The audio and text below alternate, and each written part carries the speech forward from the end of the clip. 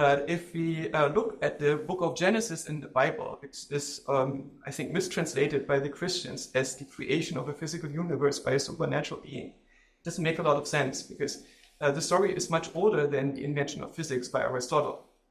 Uh, back then, people lived in a dream world. They know that the world that you experience is a dream, that uh, is somehow has invariances in it and is intersubjective, but it's a representation that uh, can change when your beliefs change and the way in which your perception works change. And so the objects of that dream are being created. And they're not created by uh, some kind of supernatural being, but they are created by your consciousness. And this story is, uh, is um, probably more than 3,000 years old, has at some point been uh, in, uh, introduced in the uh, religious scriptures of the Hebrews. And then uh, being translated into some kind of chant, so you get the six day structure and so on. But I think it might easily be a six stage theory of how um, mental organization works in the mind of an infant. So it starts out with um, the notion that consciousness is the prerequisite it forms for anything else in the mind before the structure of the world model is created.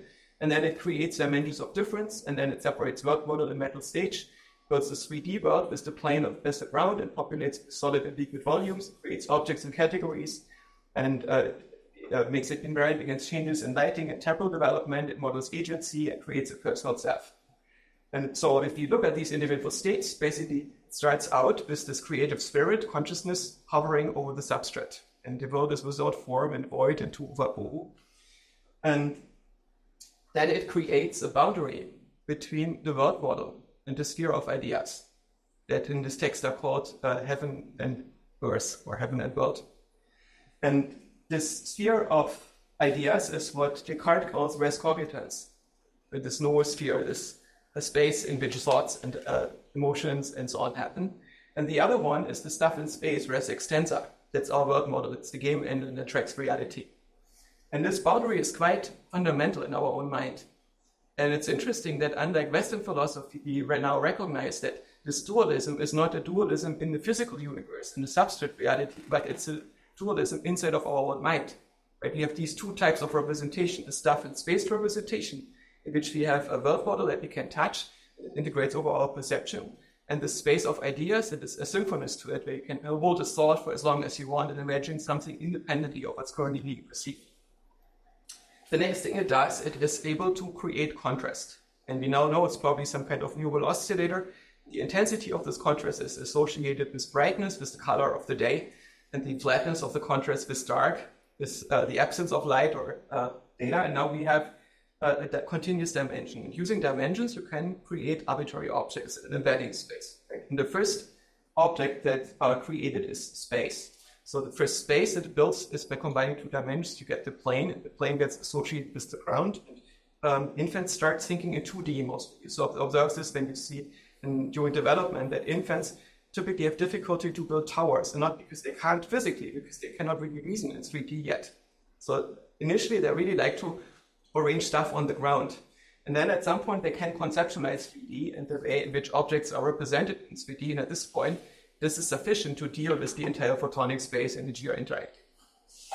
And then we create liquids and solids, and from them we um, build objects. And we learn how light changes over the time, and objects remain invariant against it. Uh, we discover the of light sources, and then we create all the plants and all the animals and give them all their names.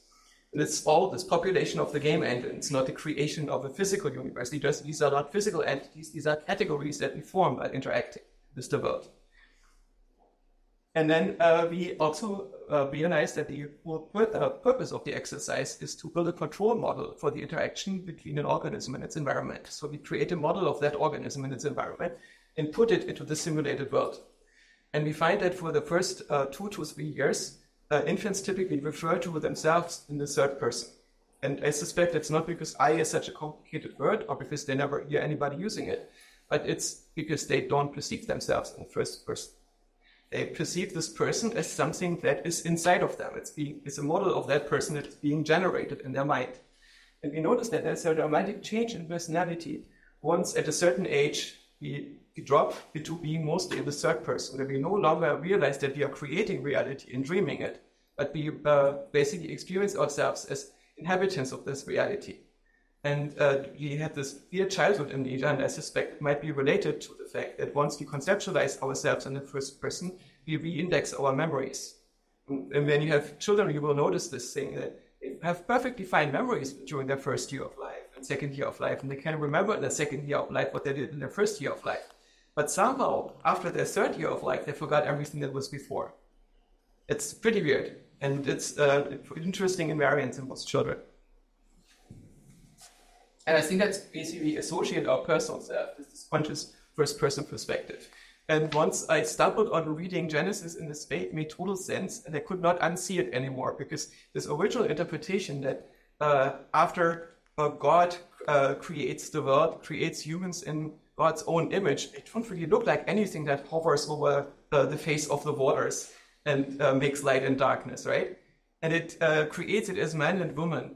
And I think what happens is that this outer mind creates another spirit, another consciousness that is uh, another model of being that is put inside of this God and thinks of itself as man and woman, that thinks of itself as a human being, that experiences itself as a person. That is, I think, expressed in here. And I think it makes total sense to put this text first to explain our own nature to us and our own way of experiencing reality and relating to it.